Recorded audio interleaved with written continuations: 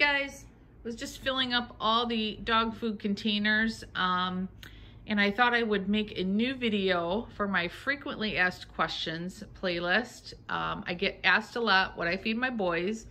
I do have, I think, two older videos on my frequently asked questions playlist sharing what I used to feed my boys quite a while ago. So I'll be deleting those and replacing it with this new updated video. Um, I have two dog foods that I purchase for my boys. I have seven mini schnauzers um, and six of them eat this Hills prescription diet, digestive care, ID low fat. Um, if you're new to the channel or new to mini schnauzers, mini schnauzers are very prone to pancreatitis. Three of my boys have dealt with that in the past, so they are on a strict low fat diet. Um, and then one of my boys, Miggy, uh, just a little while back had a problem with struvite crystals in his bladder. So we have him on this um, Royal Canin urinary SO moderate calorie dog food. Um, we went with this one for him um, because this was the lowest fat. Uh, my vet researched um, the different prescription foods and this was the lowest fat we could find. So this is why he's eating this one and he doesn't mind it at all. He loves it. Um, it is uh, a 13% maximum fat. So a little higher than the low fat that I feed the rest of the boys. This one is 6% uh, minimum fat and 9% um, max fat. So like I said, Miggy is not one of the ones who ha has ever had pancreatitis in the past, so he's doing really well with the Royal Canin. Um, yes, yeah, so all my dogs love the food. I know sometimes when people have to switch to a prescription food, they have a problem with uh, their pets eating it. All my boys um, love the digestive care. Eat it right down. I, I don't think my dogs have ever hated a dog food or dog treat. I don't think they have. Um, so yes, yeah, so this is what I'm feeding the boys right now, along with low fat um, snacks like green beans, blueberries. Um, I have found a couple treats that are very low fat that I feed the boys and maybe I'll do a separate video on those treats that I, low fat treats that I feed them. Um, yes, they all do really well with their dog food. I do boil up um, chicken breast, uh, take all the fat, uh, all the skin, everything off of the um, chicken breast and I boil it, no seasonings, nothing.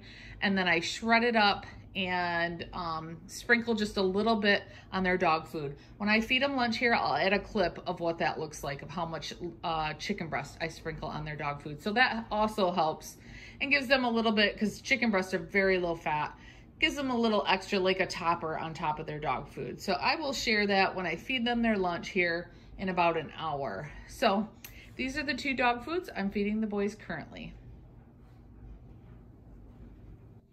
Okay, everybody's uh, patiently or impatiently waiting for their lunch. yes, everybody's waiting to eat. Um, I got everybody's food uh, in their bowls. Um, as you can see, I use slow feed bowls for six of my boys because they eat way too fast. Grant is a good eater. He eats slow, our oldest boy, who is right here. Um, so he just has a re regular dish. And then I got my, I have two kitties in case you're uh, new to the channel. Um, I have their food over here too. So I use a different color bowl for Miggy. I also have it, uh, his name written with Sharpie marker on his bowl in case I need someone else in the family to feed them uh, breakfast, lunch, or dinner if I'm not here. Um, since he eats a different kind of food, that way they don't accident accidentally give his food to one of the other boys. So I just use a bright green bowl so everyone knows that's Miggy's food since he eats a different food. So um, I feed them, like I said, three times a day and I feed them one third cup at each feeding. And then I sprinkle the top with just, I mean, just a little bit of shredded chicken breast. I give the kitties some too. Um, just a little bit of shredded chicken breast on top. So, all right, let's get these boys fed. They've waited long enough, they said.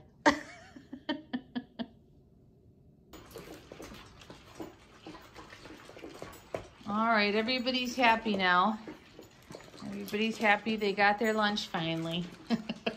They're like, stop talking, mom, and give us our lunch. so yeah, so the slow feed bowls help with, um, before I started using the slow feed bowls, since my boys eat so fast, they even try to eat real fast with these slow feed bowls. Sometimes my dogs would eat their food. Um, uh, couple minutes later, um, throw it all back up whole because uh, they were eating way too fast. So that has helped tremendously. Um, they do not do that anymore, thankfully. Um, so yeah, so that's why I use slow feed bowls. But so I hope this answered a lot of your questions um, on what I feed my boys.